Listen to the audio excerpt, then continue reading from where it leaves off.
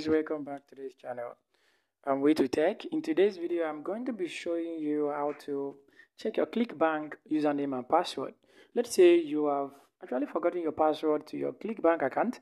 It's very simple to check on your mobile phone. Since you have your google account signed in on your mobile so what you want to do you just want to go to your settings on your on your mobile phone.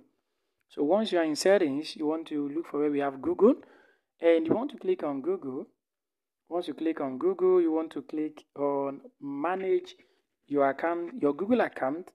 Click on manage your google account. So let's click that. So here now we're now in google dashboard what you want to do you want to scroll to where we have security. Then from here you want to scroll down scroll down scroll down to where we have password manager.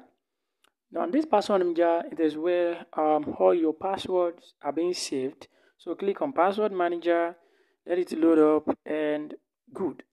So we want to look for we want to check. Can see we have so many passwords being saved here. So but we want to check for clickbank so just type in clickbank here in the search bar. Clickbank let's click clickbank so you can see clickbank.com click on that. Um, put in your password and you can see this is our clickbank email and password so this is how to actually check your clickbank um, gmail and password if you have actually forgotten it. So you can see it very simple and very quick. So thanks for watching. See you in the next video